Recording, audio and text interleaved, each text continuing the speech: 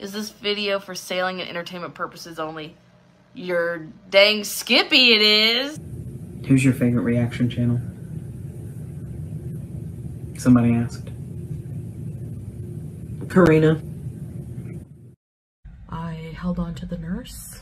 Nurse, clear my schedule. karina kaboom What's wrong with Karina Kaboom? She's a nice lady.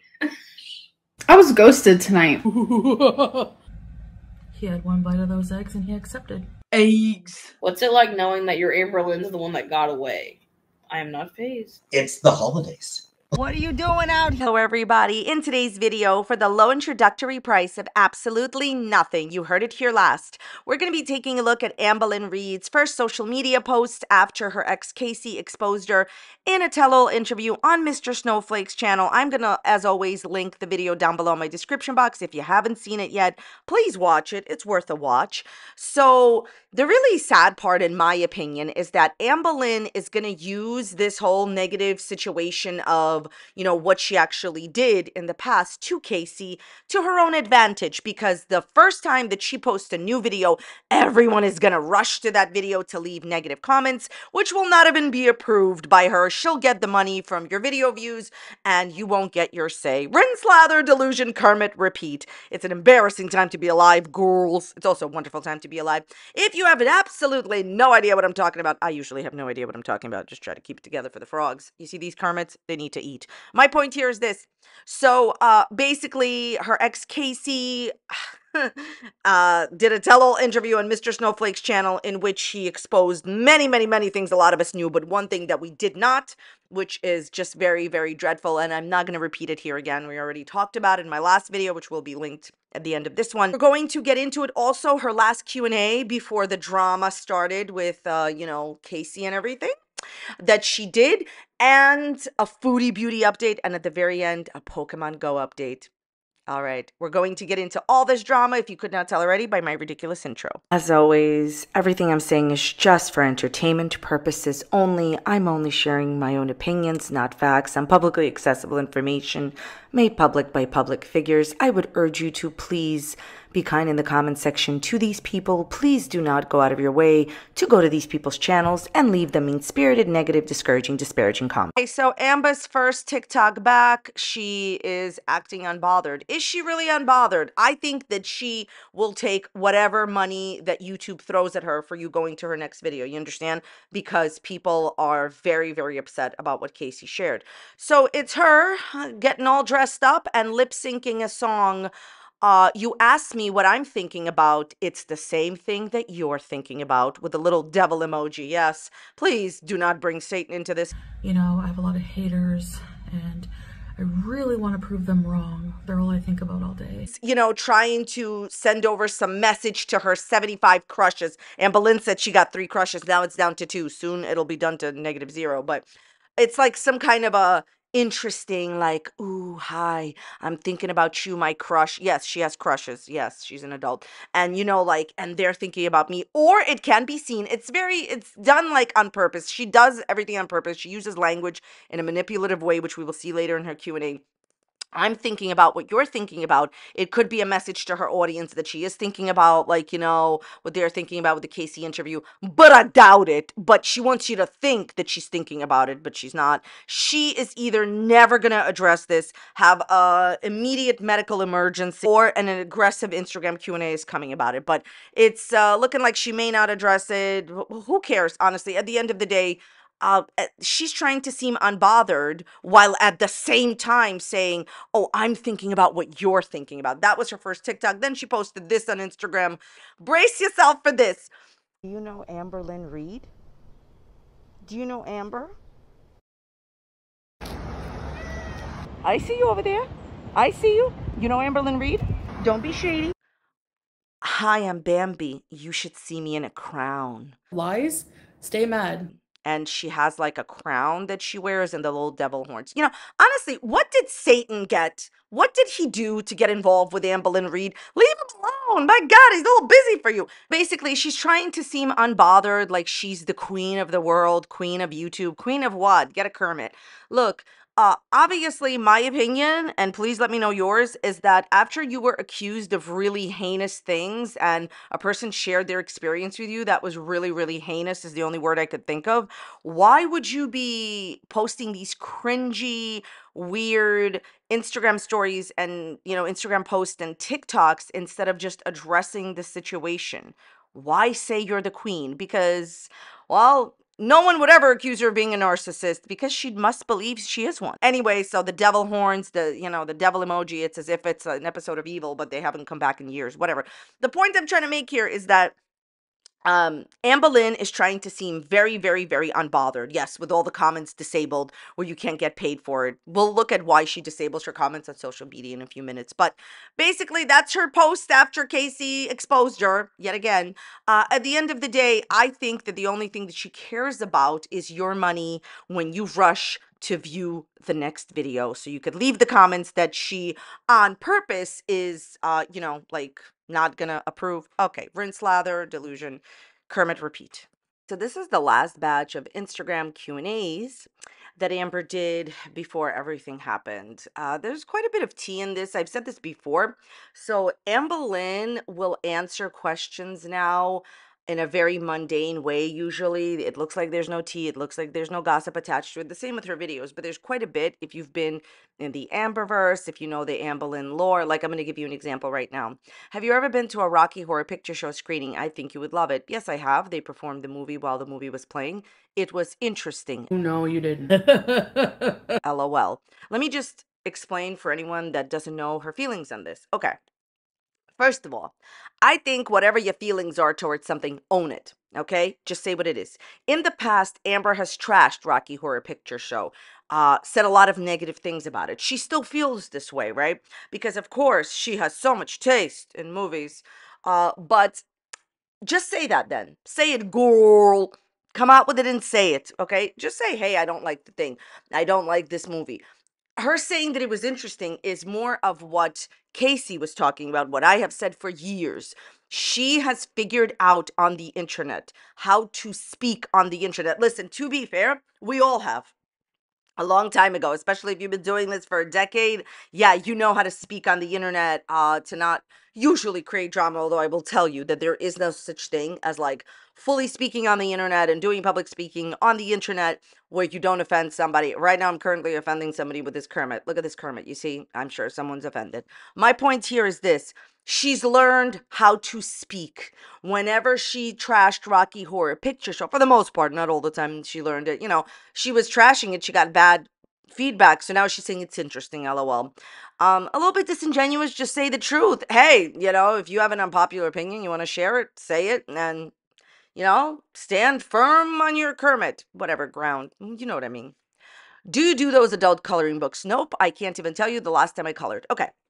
This is another example of if you don't know what's going on in the Amberverse, because I see sometimes people come into the Amberverse and they're like, oh my God, oh my God, like, why are people saying anything to her? She's the nicest person. Like, she's not doing anything. That's the narrative that Amber always tries to serve you, that she is not doing anything. Okay. Let me explain the tea behind this because you see how this looks like a mundane question, mundane answer, no tea, no drama. I'm going to let you in if you don't know what was going on with the Amberverse. This question is directly related to Amberlynn and Twinkie, and Twinkie getting into an unknown substance that was green. Amberlynn, uh, not knowing what the substance was, texting her mom, and both of them laughing about her, uh, you know, older dog Twinkie getting into an unknown substance. They thought it was funny. And then Amber lying and saying that it was pesto. We all believe that she lied. And I'm going to explain to you in a minute why. That's what this is about. Why? Why do why am I saying that's what it's about? The tea is is that they're asking her if she still doing the adult coloring books. People believe the green on Twinkie's face was the green markers or maybe the mother's like eyeliner, but a lot of people believed it was her markers. Amberlynn bought markers for years and showed as early as last year coloring those coloring books with the markers and literally saying that it was one of the few things that really calms down her anxiety. Now, the Twinkie has an unknown green substance all over her face. She's pretending she doesn't color the coloring books because she knows that she's been accused of having green marker all over Twinkie. Do you understand now how there's all this tea and drama attached to mundane questions? You just have to know what's going on behind the scenes. So, Amberlynn, I don't believe you that you're not coloring in the coloring books. You just very recently enough last year said this is like one of the main things that gets rid of my anxiety. I color the coloring books. It's all to hide what was on Twinkie's face. She claimed it was pesto. By the way, I had gotten a comment on a little bit of an older video that I did on this topic, right? I wanted to address it.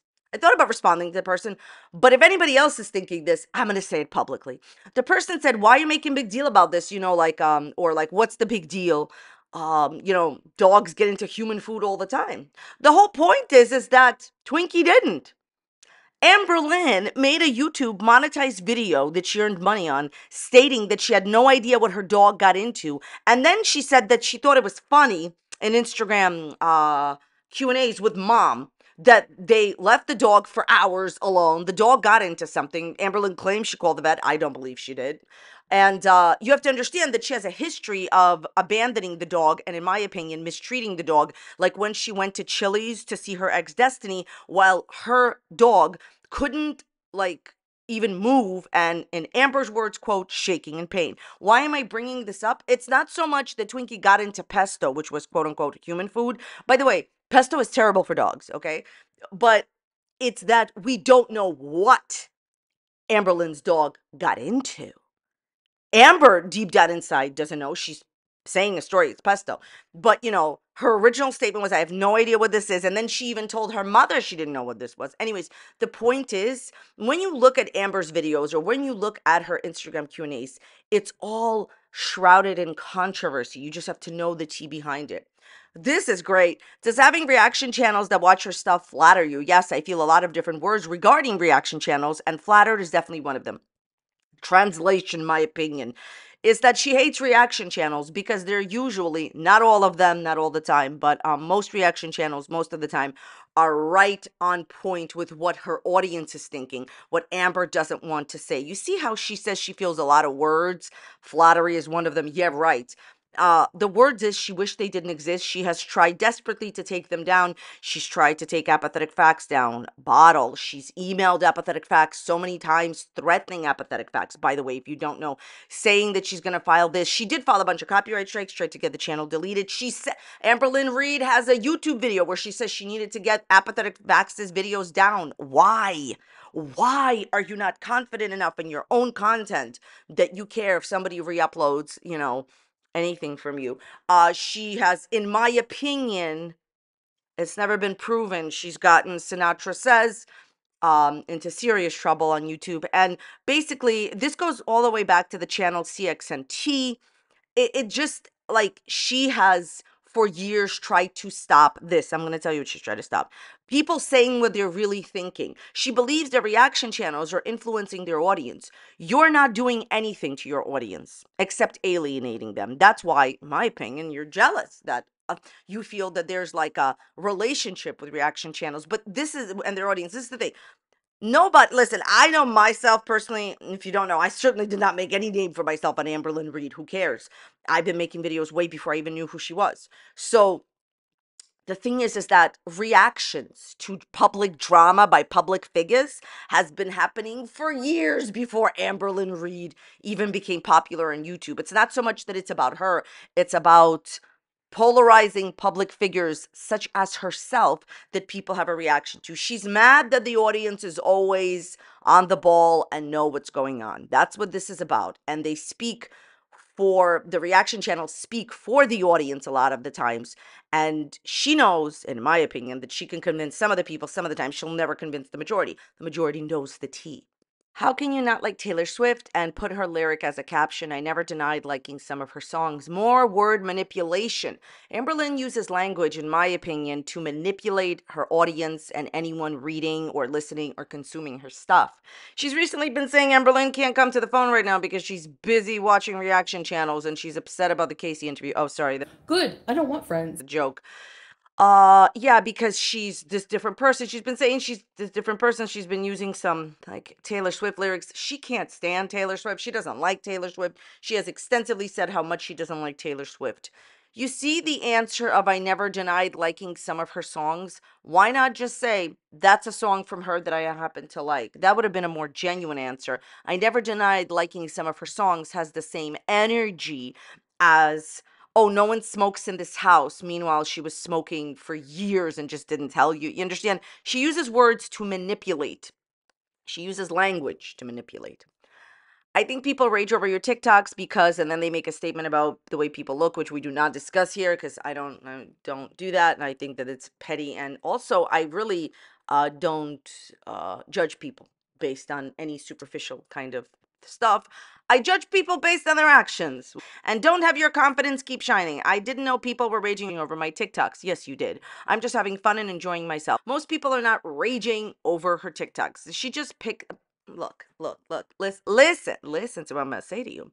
Amberlynn recently said that she gets hundreds of questions a day on Instagram and she picks and chooses what she wants. If she didn't know that people were raging over her TikToks, why would she pick a question? Saying, I can't believe people rage over your TikToks. She picked this question because she knows that people have a negative response to her TikToks. I can just only give my own opinion about her TikToks. I have never seen TikToks being created the way that she does. Cringy, unusual TikToks that give others secondhand embarrassment. That is my opinion. You know what it is that she's acting like on TikTok? If I could describe it if you haven't seen it, it's almost as if you get to see what she would be doing like in her mind. Here's my opinion. Why do you turn off this is going to be a rhetorical question too. Why do you turn off comments on Instagram and TikTok but keep them on YouTube? Here's the real answer. Because YouTube negative comments keep her paid. People keep looking at the video, video keeps loading, making her money. People read negative comments, she makes money. Can't make money that way on Instagram and TikTok. I can assure you that her comments on YouTube would be disabled if only she couldn't monetize them. Every time you post a new selfie, my heart soars. Aw, what a sweet thing to say. Thank you. Gee, Amber, I wonder why you're single all this time. Amber constantly posts that she has all of these crushes. Maybe she's on her seventh one. And she also says all the time how many women and men want her. So, therefore, I'm very surprised that she hasn't entered into a relationship. But I'm really glad you have all these people loving you and wanting you. So surprising you're single. Did you get contacted by a TLC producer recently? We're going to end here on Amber. I'm being asked this so much today. Why? Can someone tell me? Laughing emoji. Oh my God. What a cool girly. Oh my God. Um, Apathetic Facts posted something where like somebody was trying to reach out to Amberlynn. Here's an opinion from yours truly. That would be me. Amberlynn Reid is never going to go on any of these shows because she's content and happy with her life.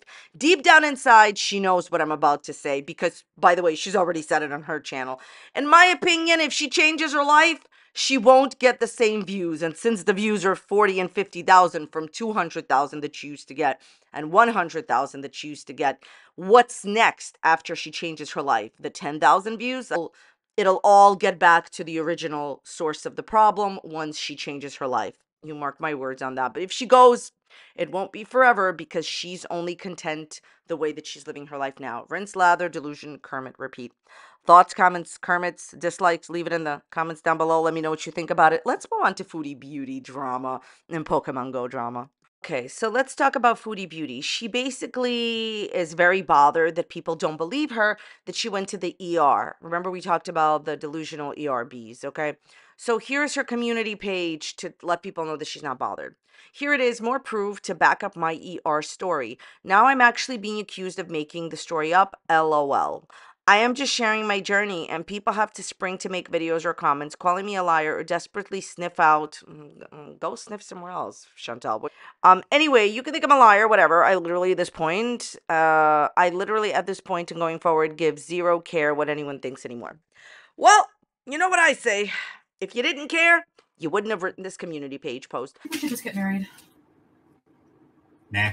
People on a daily basis say outrageous stuff to me that I never respond to and never will. That's just like my thing on YouTube and I advise it to if you make videos for it to be your thing on YouTube too. People constantly say stuff that doesn't make any sense to me personally and things that are not true. Do you see me ever addressing anything? No. What I like to do is I like to take the suggestions me personally of my subscribers to if I can make my channel and my Kermit a little better. Um, if you did not care, you would not respond to the negativity. Also, you know what I love about Chantal? She always, whenever anything happens, says, ah, why are people running and making videos? Ah, Cause that's how they make money on YouTube. Ah, why are you every single time, Chantal, that you need to go to the ER? Why are you running and making a video? Ah, every single time that you you know go to the ER like why don't you just go to the ER like the rest of us and don't make a video? Oh because that's how you make videos and that's where you get your content and that's where you make money from. Like it's so outrageous to me that to this day um she can come on the internet and say i can't believe people are running to make videos. Well i honestly can't believe that anybody on the internet has to videotape every single time they fart but here we are. Oh my god i went to the er oh my god i saw a tree. Chantal you have your content and other people have theirs okay also, for the elevator, this is the elevator story. She said that she pried the doors open. People didn't believe her. She got stuck in the elevator. I don't understand why anyone would care really that deeply about this because she lies about everything. So who cares? And also, her kitchen is on fire, a metaphor for everything being wrong in her life, anyways. So if she wants to lie about an elevator, how has this changed our lives? Okay, what I meant was I couldn't have been between floors because the indicator said fifth floor. I didn't specify that because you know how I tell stories fast, etc. So people thought it was a lie. And all these emojis, I knew I was on the fifth floor, blah, blah, blah. Also, the elevator, blah, blah, blah. Then she does something that is so outrageously pointless that even a Kermit couldn't help Foodie Beauty. So she posts her after summary visit for her ER, and you can't see anything except her name. And what is the point? Now, the only thing I do understand, like censoring, are her allergies. I'm not gonna say what could happen if people would know what her allergies are, but um, it's just not a good idea to ever let strangers on the internet, never mind strangers on the internet who dislike you, to let them know what your allergies are. So I agree with her not showing that. But I think it's beyond outrageous to try to post medical information that is all completely censored. Like, all of her, eh, eh, here's some to think about. How come you covered literally everything that you already told us in Kuwait? Remember that little video that she did that she said was a parody? And I thought at the time that it was a parody to a certain extent. But uh if you can make parody videos where you say that your that your health what is the difference between telling us your health information in Kuwait? Like when she would videotape herself at that uh, clinic, she told everybody all her information. But now that she's in Canada, she can't. I wonder why. What is the point of proving that you were at the ER by not proving that you were at the ER? anyone can doctor up any piece of paper. I'm not accusing her of doing that. I'm just saying that if you're going to actually provide proof of something, how about you provide proof of it? This doesn't prove anything. And you are just showing us how bothered, bothered, bothered, bothered you are that people are accusing you of whatever. You're just trying to cause drama so more people can make more videos about you. Never let these people uh insinuate or straight out tell you that having videos being made about them is a negative for them. In fact, if you can go back to before Chantal, Foodie Beauty and Amberlynn got talked about, how much money they made before they got talked about, and how much money they make as they have scandals and as people talk about them, good or bad, because there's no such thing as bad publicity, just in general. They make more money now, Amber and Chantal, that they're talked about. So never let them try to convince you that, oh my God, it's so terrible that people make videos about me. I can tell you more people talk about you in general, in general. Obviously, there's some exceptions, but in general, um, the more people talk about you, the more money you make. So people that don't like you either don't care about that or, you know, whatever. They just don't care. They're just talking. But I love it when Chantal and Amber play victim and they're like, oh my God, I cannot believe that people are running to make videos. Well, I can't believe that Amberlynn Reid went on the internet and earned a thousand dollars saying that she has a collapsed lung and then earned another thousand dollars saying that she was misdiagnosed give the money back amber if this is just not something that you want to do chantal i can't believe that you used to get paid $20000 a month to rage about your ex non boyfriend. But here we are. So if you can film a tree nowadays, people can make videos about you. It's called the entertainment business. Here's some screenshots from, I believe this is the channel Piggy's, um, uh, like community page, and I'm going to link the channel down below. Here is what Foodie Beauty said in Salah's live stream, you know, when she first got to Canada. I might get BBJ back, though, if it all works out legally. Uh, it's a civil case. She concocted. We're talking. She's talking about FFG. How FFG outsmarted her and, and um, had the cat BBJ live with FFG's sister-in-law. So it's a civil case. She concocted a whole scheme to steal her. I didn't hand her over to her brother, and also many, many things I will be getting her for. Don't worry. Okay, th- we're going back now to this nonsense about how she plans on suing FFG. This is just my own personal opinion. Okay.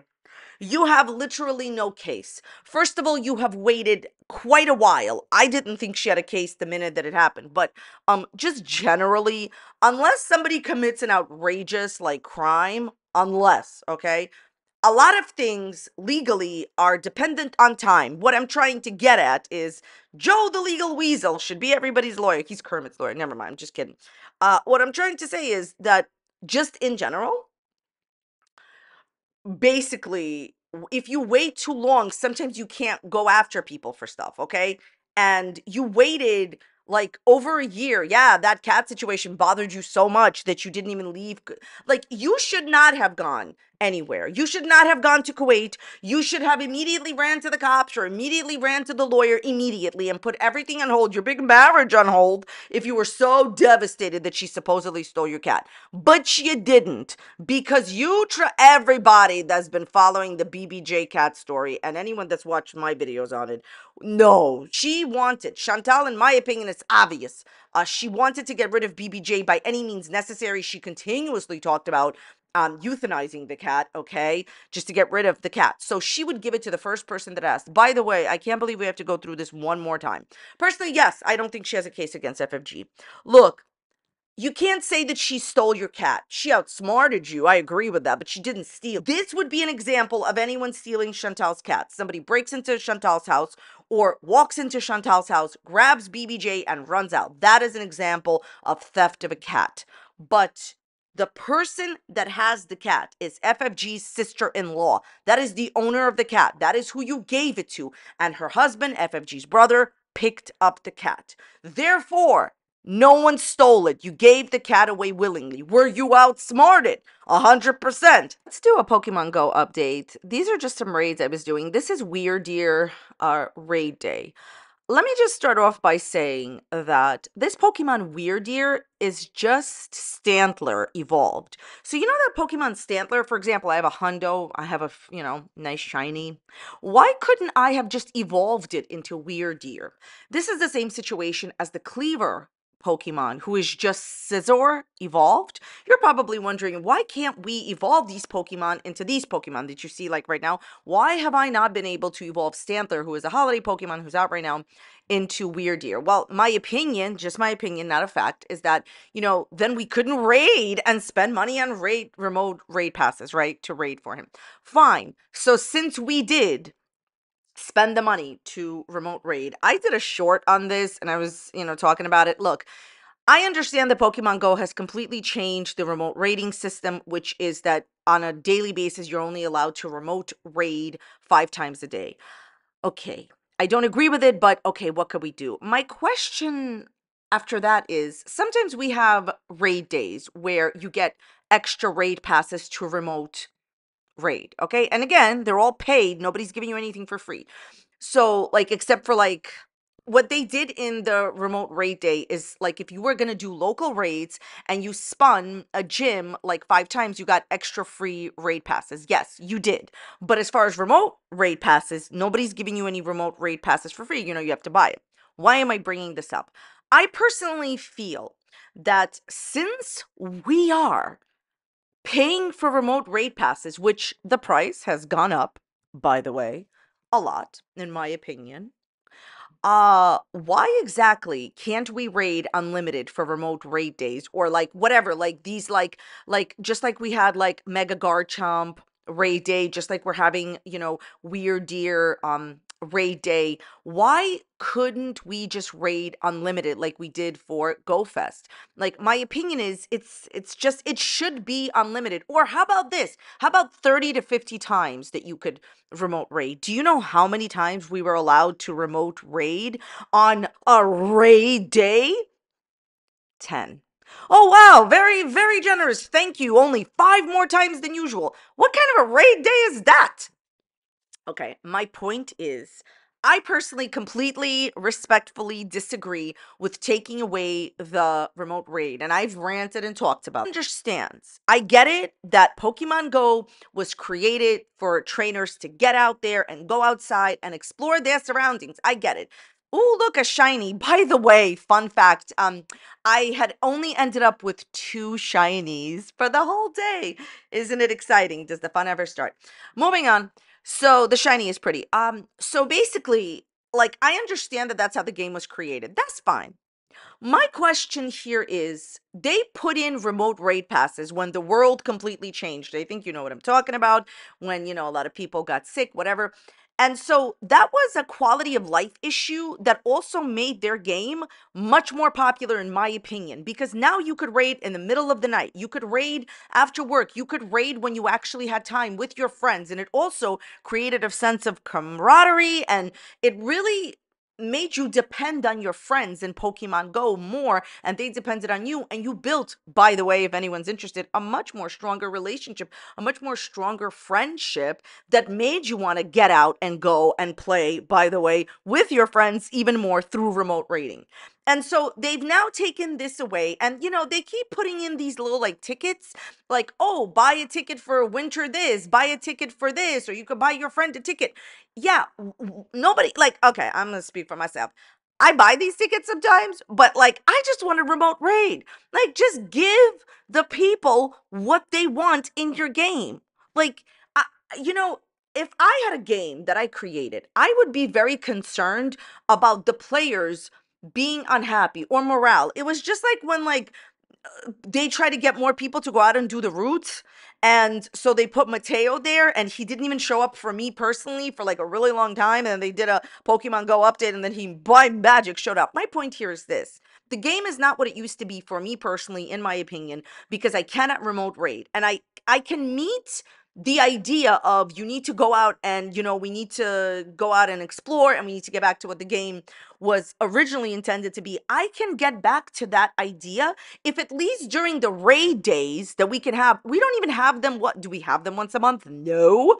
So if we have a like raid day or something like that why can't we at least raid a little bit more than 10 times. Let me know what you think about this if you made it so far in the video. Okay, this is a Kyurem raid. Wonderful, riveting. Here's a fun, interesting thing that happened with Pokemon Go. They, by accident, released white and black Kyurem.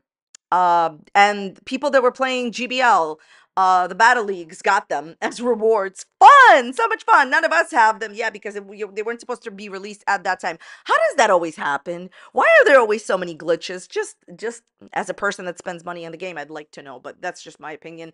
Yeah, so they actually released them by accident or whatever. They're not in the game anymore, but whoever has them, well, yeah, Kyurem. That's the raid for Kyurem. I don't know. I kind of find this Pokemon like okay, nothing special. I wouldn't use him in the Battle League. Like he has Glaciate, which is like that was his update move, which is good. Like it'll get rid of a Togekiss in the Battle League. But quite frankly, do you really want to take an Ice Pokemon and put him against like uh, like a Fairy Pokemon? Probably not. But I see. Well, I I battle um in the Battle League, and I see people like using him like he's like going out of style. It's just Kyurem people, or I hope I'm saying his name right. You know, this guy that looks like a like bird, dragon, whatever with ice.